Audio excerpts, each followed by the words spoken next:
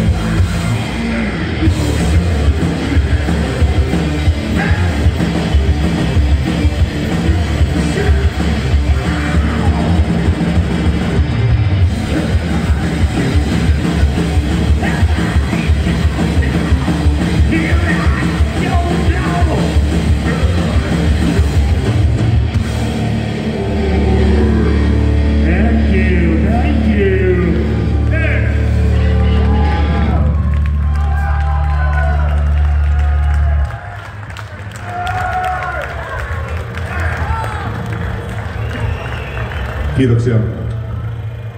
Jatkamme Deluxe-levyn kappaleella Need. Tässä, tässä tarinassa mennään ihmisuuden maailmaan ja siellä aina tarvitaan toista siihen, mihin myös tähänkin. Ja tuota, joskus silloin 90-luvulla ajateltiin tästä kappaleen. Ei mulla tästä enempää.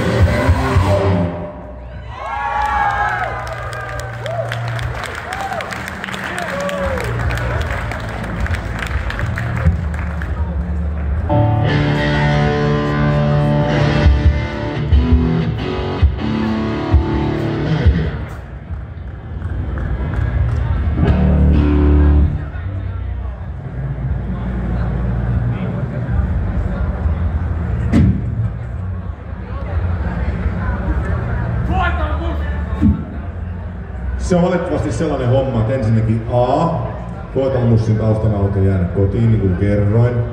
Ja B, toiseksi viimeinen kappale. Ihanaa kun tulitte kattoo, muistakaa juoda vettä, pussaikaa paljon, pistäkää pepantteeni huuliin sen jälkeen. Nauttikaa, oli ilo kun olitte eteen.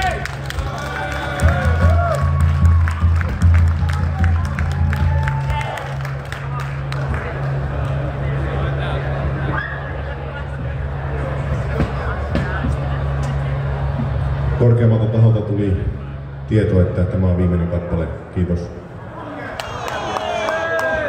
Aina on mahdollisuus, jos te olette ystävällisiä ihmisiä.